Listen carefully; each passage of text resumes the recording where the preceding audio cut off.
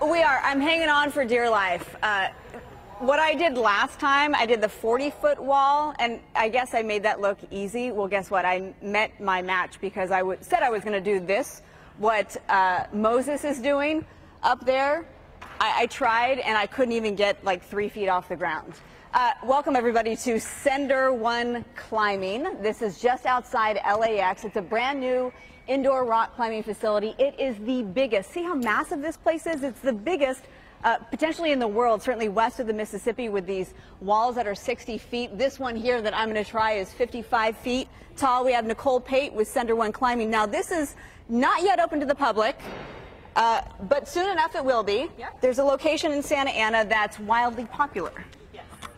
Well, tell people at home what they can expect. And, and you know what? I've never done this before. Uh, it, it's, it's not, Nicole, it's not easy. What's the trick? So the trick before, like I said, is really try to keep your weight on your feet. Um, and for this one, it's going to be a longer climb, so try to keep your arms straighter. Don't bend in so much because you're going to get tired faster that way.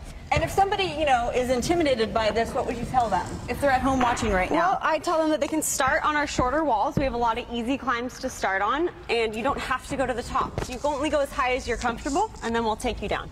And in terms of a workout, if somebody, you know, is at home going, I'm so bored of the treadmill, or, you know, this is really full body workout. You'll be sore in places you didn't know you could be. and what I love about this too, this could be anything from, oh gosh, you got uh, it.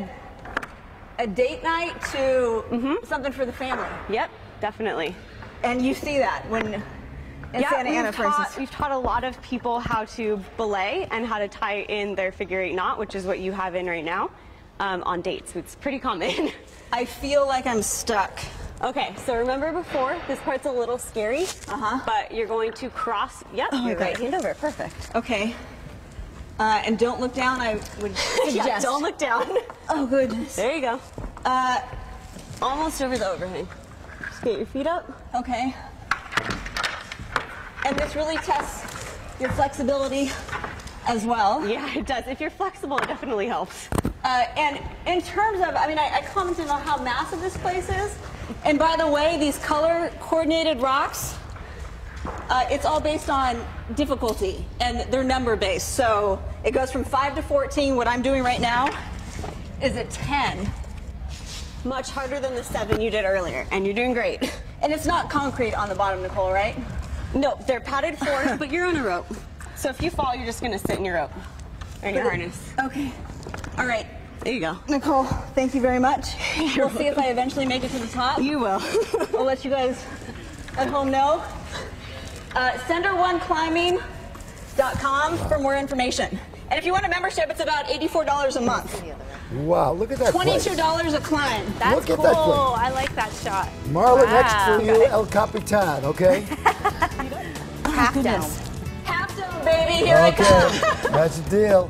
She's good. Oh, yeah. No doubt.